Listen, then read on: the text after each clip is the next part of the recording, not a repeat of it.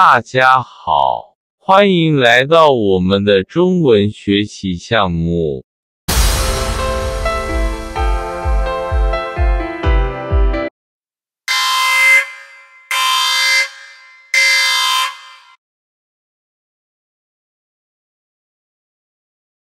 我住在越南最大的城市胡志明市，也是最拥挤的城市。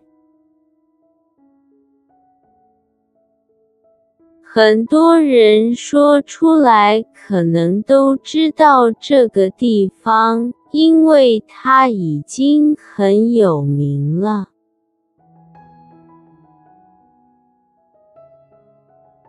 关于西贡有很多话要说，我们在这里几乎可以找到我们需要的一切。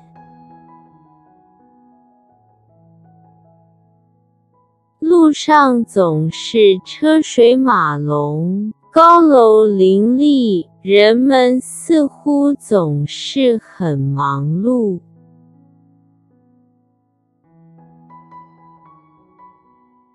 我真的很讨厌在上下班高峰期出门，因为街道在尾气的高温下就像在燃烧一样，走一小段路都很难。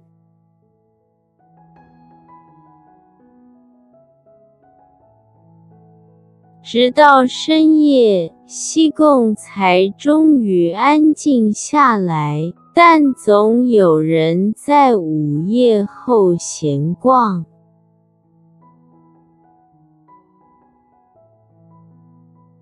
可以说，这座城市不夜城，所以住在哪里的人也很活跃。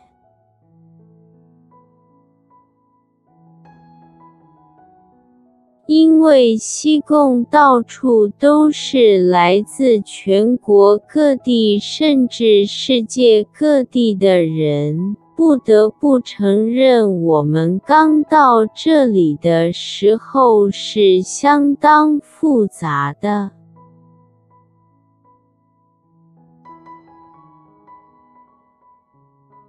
然而，对我来说，这座城市仍然是一个可爱而值得居住的地方。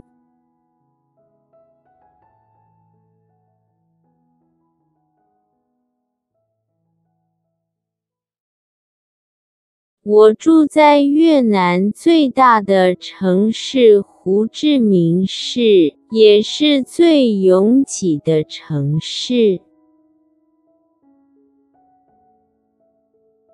很多人说出来可能都知道这个地方，因为它已经很有名了。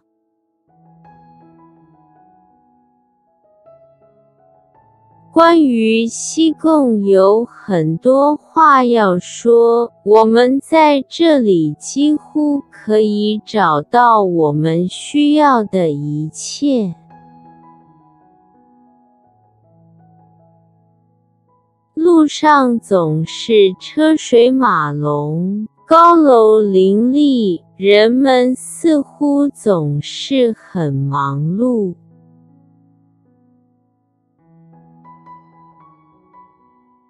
我真的很讨厌在上下班高峰期出门，因为街道在尾气的高温下就像在燃烧一样，走一小段路都很难。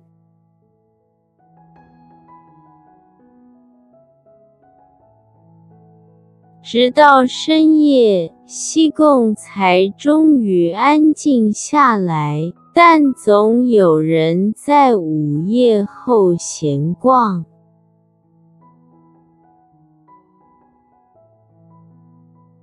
可以说，这座城市不夜城，所以住在哪里的人也很活跃。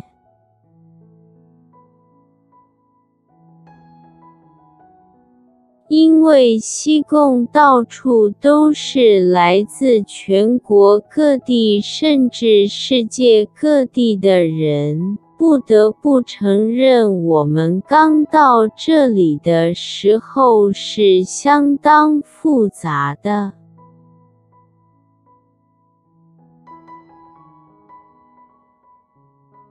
然而，对我来说，这座城市仍然是一个可爱而值得居住的地方。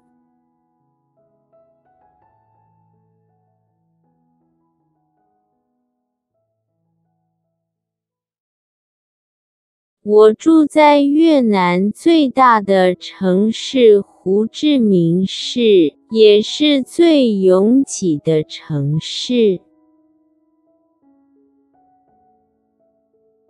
很多人说出来可能都知道这个地方，因为它已经很有名了。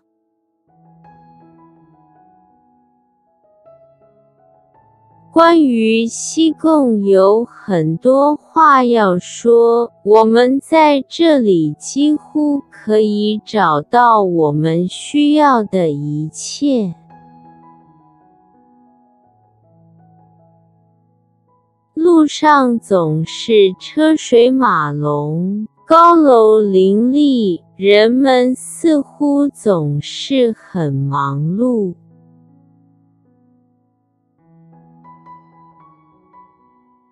我真的很讨厌在上下班高峰期出门，因为街道在尾气的高温下就像在燃烧一样，走一小段路都很难。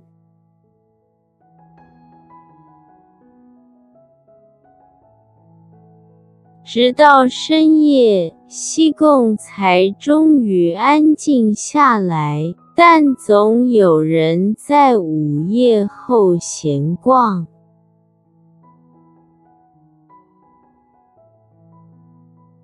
可以说，这座城市不夜城，所以住在哪里的人也很活跃。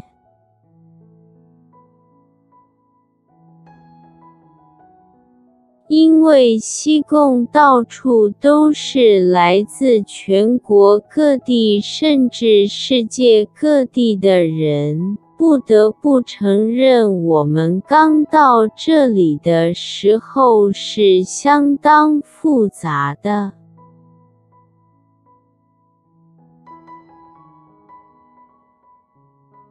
然而，对我来说，这座城市仍然是一个可爱而值得居住的地方。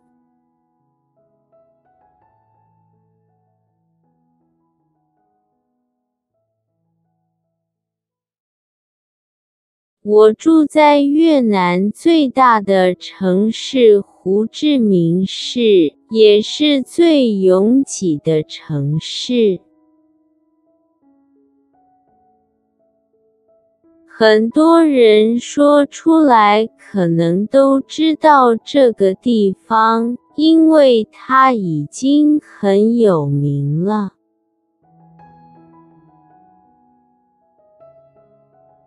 关于西贡有很多话要说，我们在这里几乎可以找到我们需要的一切。路上总是车水马龙，高楼林立，人们似乎总是很忙碌。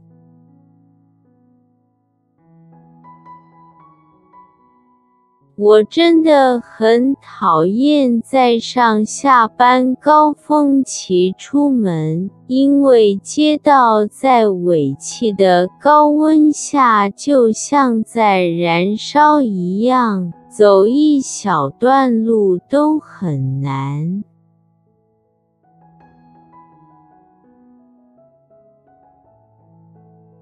直到深夜，西贡才终于安静下来。但总有人在午夜后闲逛。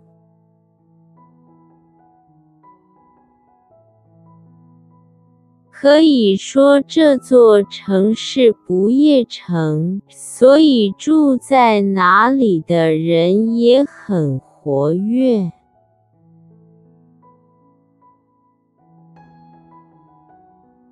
因为西贡到处都是来自全国各地，甚至世界各地的人。不得不承认，我们刚到这里的时候是相当复杂的。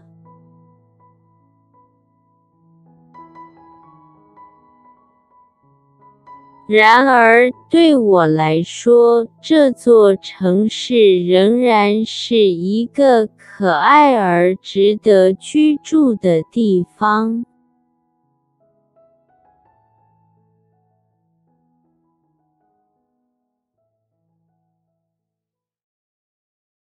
我住在越南最大的城市胡志明市，也是最拥挤的城市。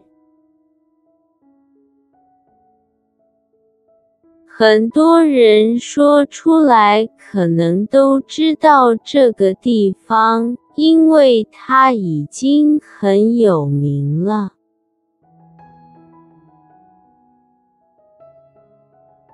关于西贡有很多话要说，我们在这里几乎可以找到我们需要的一切。路上总是车水马龙，高楼林立，人们似乎总是很忙碌。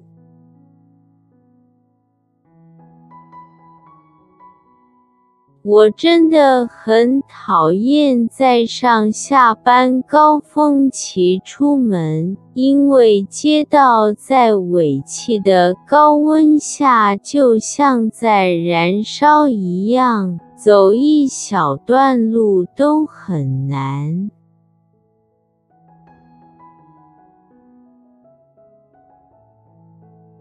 直到深夜，西贡才终于安静下来。但总有人在午夜后闲逛。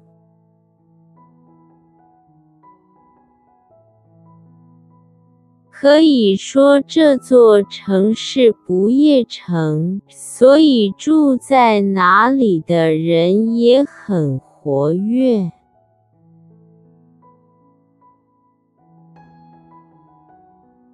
因为西贡到处都是来自全国各地，甚至世界各地的人，不得不承认，我们刚到这里的时候是相当复杂的。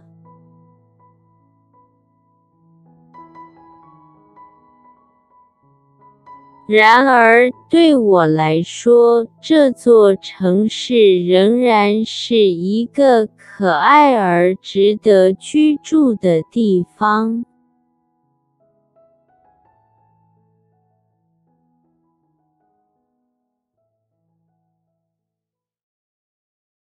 我住在越南最大的城市胡志明市，也是最拥挤的城市。很多人说出来可能都知道这个地方，因为它已经很有名了。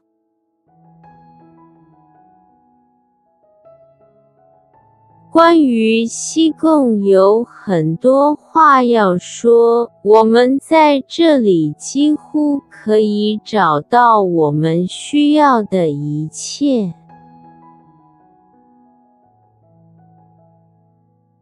路上总是车水马龙，高楼林立，人们似乎总是很忙碌。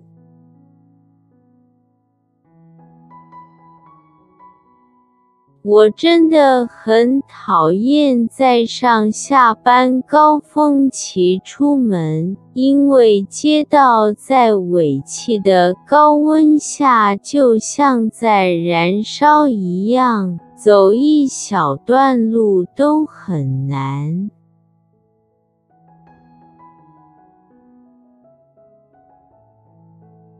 直到深夜，西贡才终于安静下来。但总有人在午夜后闲逛。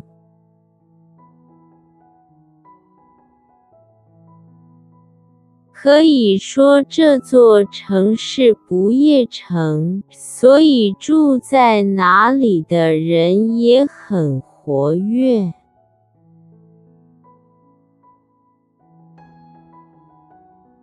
因为西贡到处都是来自全国各地甚至世界各地的人，不得不承认，我们刚到这里的时候是相当复杂的。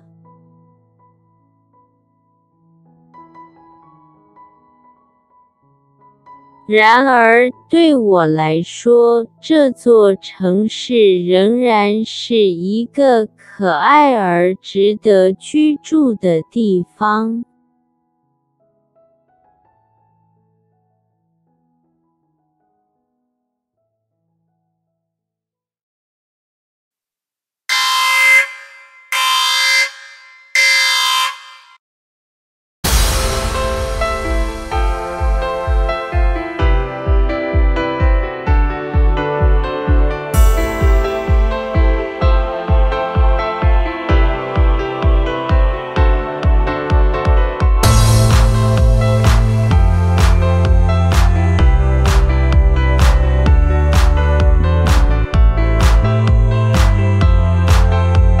大家好，欢迎来到我们的中文学习项目。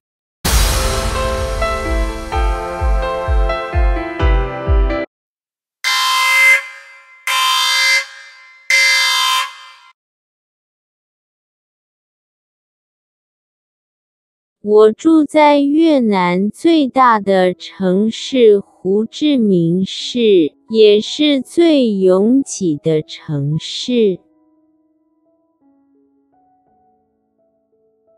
很多人说出来可能都知道这个地方，因为它已经很有名了。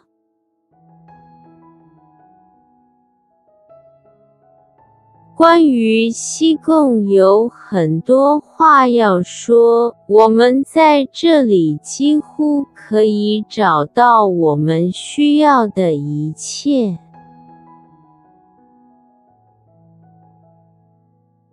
路上总是车水马龙，高楼林立，人们似乎总是很忙碌。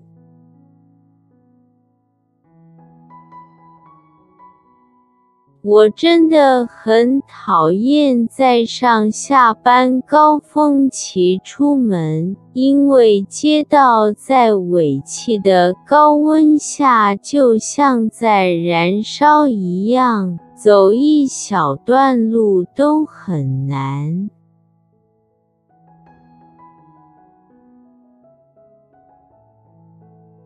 直到深夜，西贡才终于安静下来。但总有人在午夜后闲逛。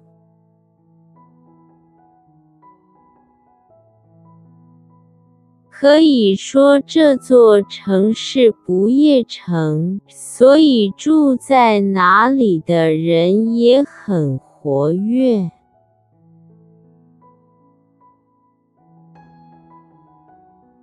因为西贡到处都是来自全国各地甚至世界各地的人，不得不承认，我们刚到这里的时候是相当复杂的。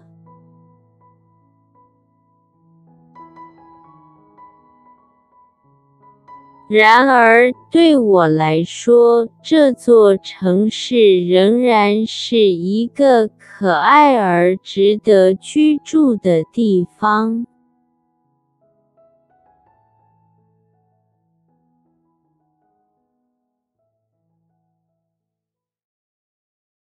我住在越南最大的城市胡志明市，也是最拥挤的城市。很多人说出来可能都知道这个地方，因为它已经很有名了。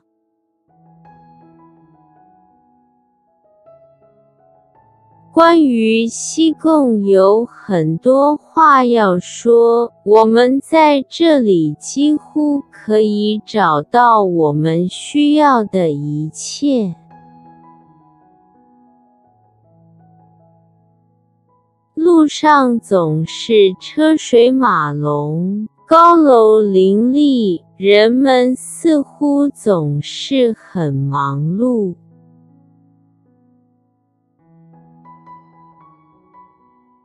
我真的很讨厌在上下班高峰期出门，因为街道在尾气的高温下就像在燃烧一样，走一小段路都很难。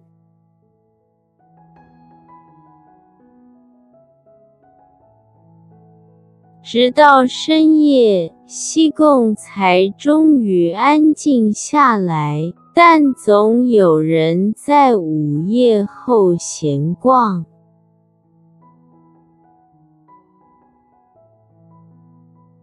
可以说，这座城市不夜城，所以住在哪里的人也很活跃。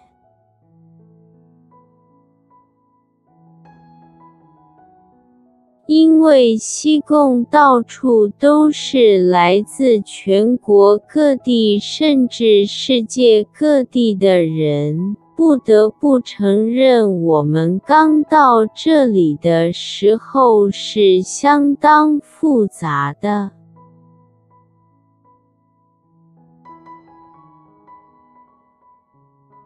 然而，对我来说，这座城市仍然是一个可爱而值得居住的地方。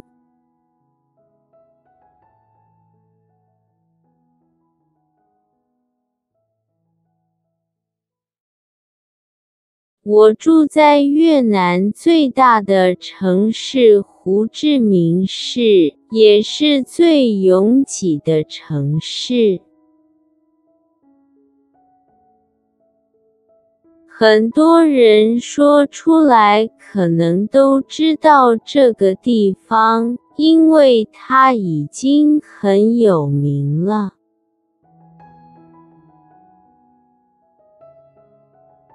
关于西贡有很多话要说，我们在这里几乎可以找到我们需要的一切。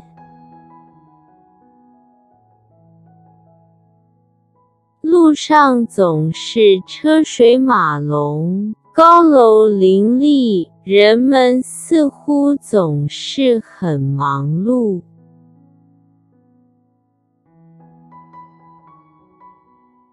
我真的很讨厌在上下班高峰期出门，因为街道在尾气的高温下就像在燃烧一样，走一小段路都很难。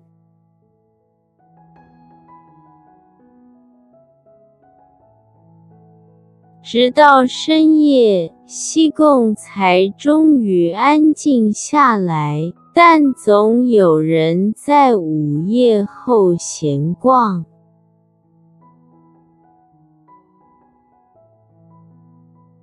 可以说，这座城市不夜城，所以住在哪里的人也很活跃。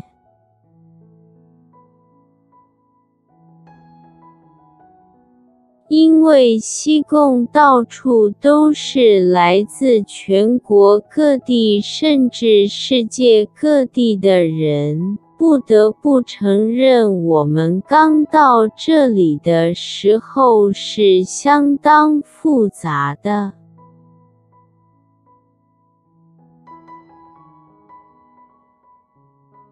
然而，对我来说，这座城市仍然是一个可爱而值得居住的地方。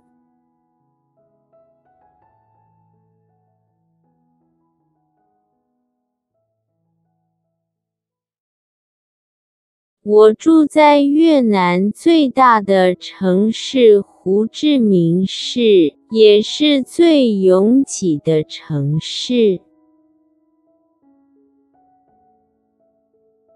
很多人说出来可能都知道这个地方，因为它已经很有名了。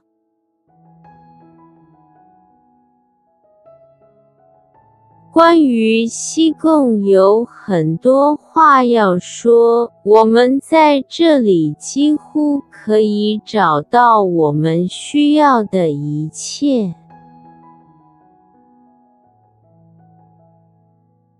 路上总是车水马龙，高楼林立，人们似乎总是很忙碌。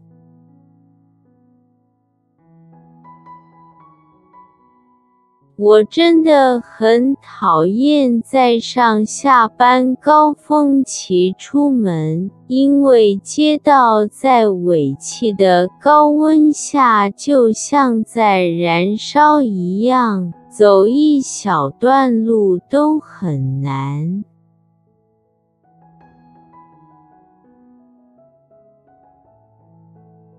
直到深夜，西贡才终于安静下来。但总有人在午夜后闲逛。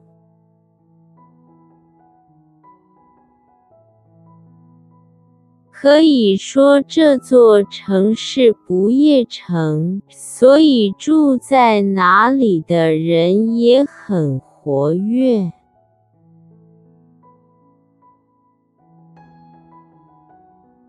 因为西贡到处都是来自全国各地甚至世界各地的人，不得不承认，我们刚到这里的时候是相当复杂的。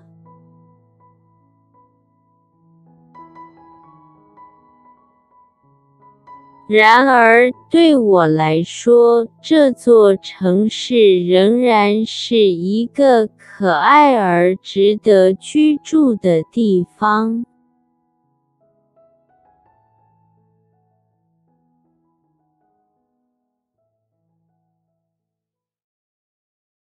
我住在越南最大的城市胡志明市，也是最拥挤的城市。很多人说出来可能都知道这个地方，因为它已经很有名了。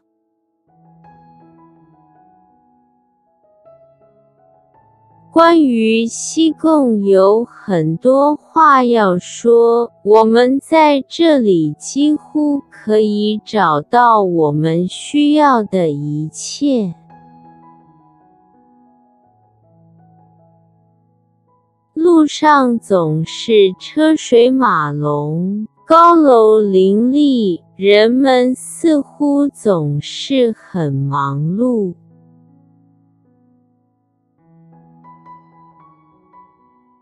我真的很讨厌在上下班高峰期出门，因为街道在尾气的高温下就像在燃烧一样，走一小段路都很难。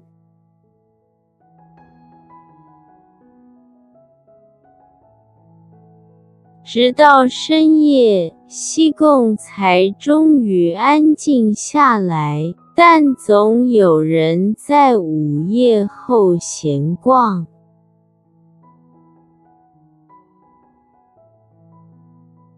可以说，这座城市不夜城，所以住在哪里的人也很活跃。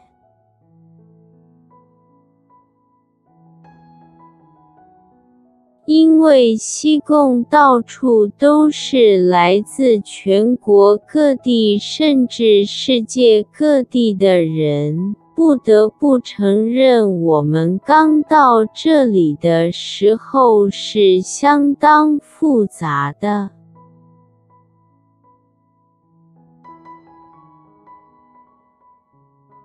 然而，对我来说，这座城市仍然是一个可爱而值得居住的地方。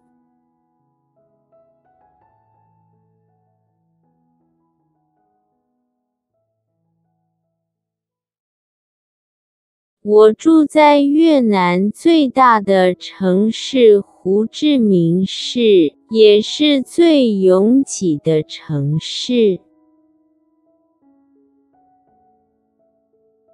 很多人说出来可能都知道这个地方，因为它已经很有名了。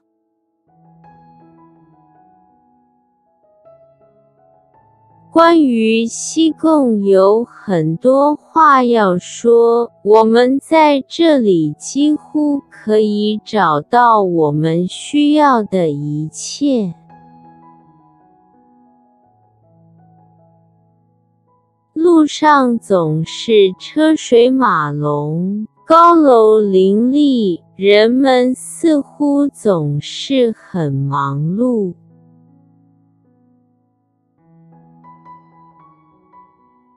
我真的很讨厌在上下班高峰期出门，因为街道在尾气的高温下就像在燃烧一样，走一小段路都很难。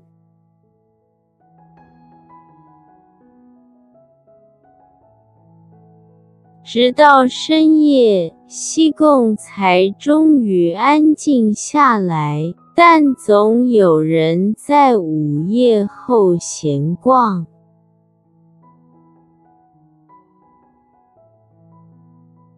可以说，这座城市不夜城，所以住在哪里的人也很活跃。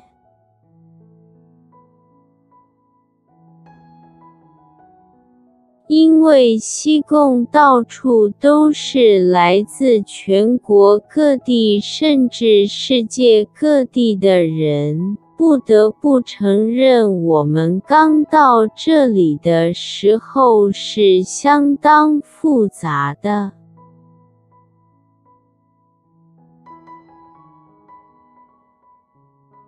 然而，对我来说，这座城市仍然是一个可爱而值得居住的地方。